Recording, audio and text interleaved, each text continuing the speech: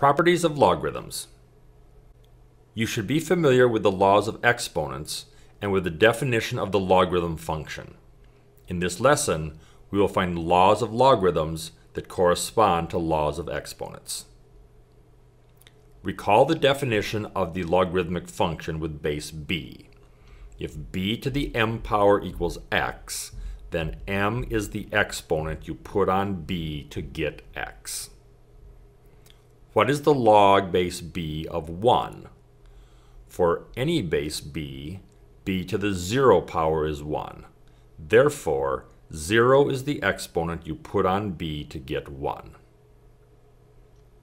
What is the log base b of b? For any base b, b to the first power is b. Therefore, 1 is the exponent you put on b to get b. Before we go further, it's time for a riddle. What is the color of the blue balloon? It's not a difficult riddle. The description of the object gives the information necessary to answer the question. The color of the blue balloon is the color blue. There are two rules which combine exponents and logarithms.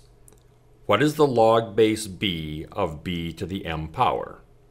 We can use our definitions to solve this. b to the m is x, and the log base b of x is m.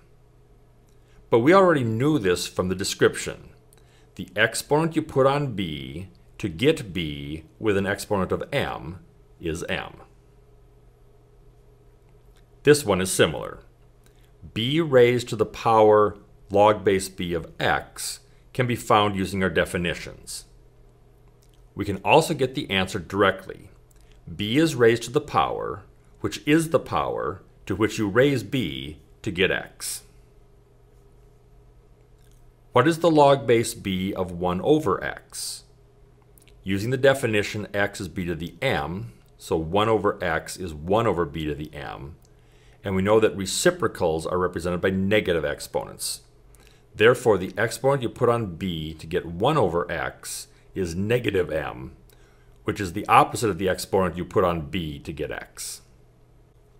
We will now define a second exponential and logarithmic equation and ask what happens when we multiply. What exponent do we put on b to get x times y? When multiplying numbers, we add exponents. So m plus n is the exponent we put on b to get x times y. What exponent do we put on b to get x divided by y? When dividing numbers, we subtract exponents. So m minus n is the exponent we put on b to get x divided by y. Finally, how do we handle exponents within logarithms? Using our definitions, x to the n is b to the m raised to the nth power, which is b to the m times n. We multiply the exponents. We can also rewrite this as b to the power n times m. So n times m is the exponent we put on b to get x to the n. To recap, recall that logs are exponents. 0 is the exponent you put on anything to get 1. An exponent of 1 leaves the base the same.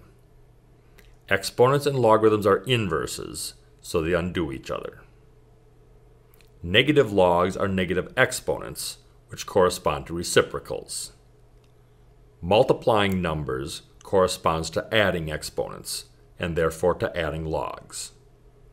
Dividing numbers corresponds to subtracting exponents, and therefore to subtracting logs. When raising a power to a power, the exponents are multiplied.